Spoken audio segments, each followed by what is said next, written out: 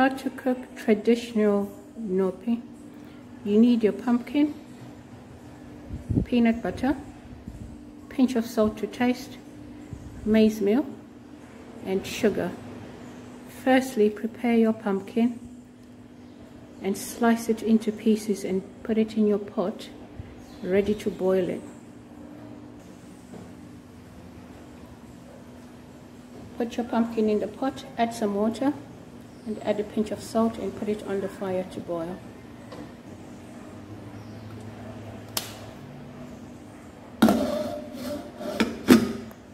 Boil this till it's soft enough to mash.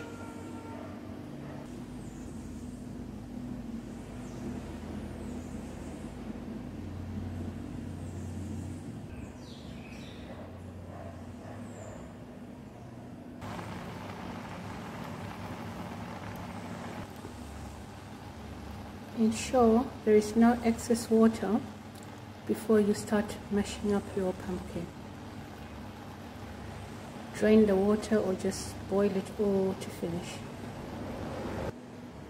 Okay, once the pumpkin is ready, mash it all up.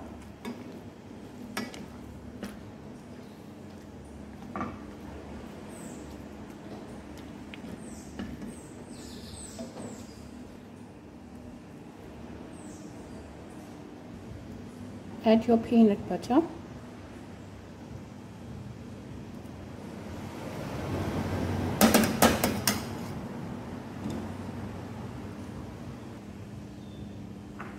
Add your maize meal. Add your sugar. And mash it up together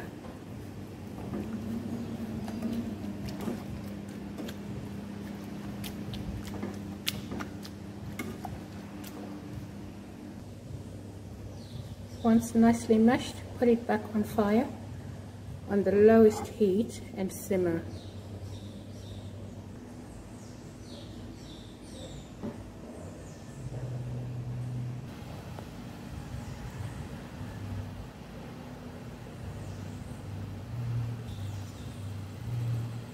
Once ready, transfer to your serving bowl. Your nhopi is ready. You can garnish it if you wish to garnish it, but it's ready to eat.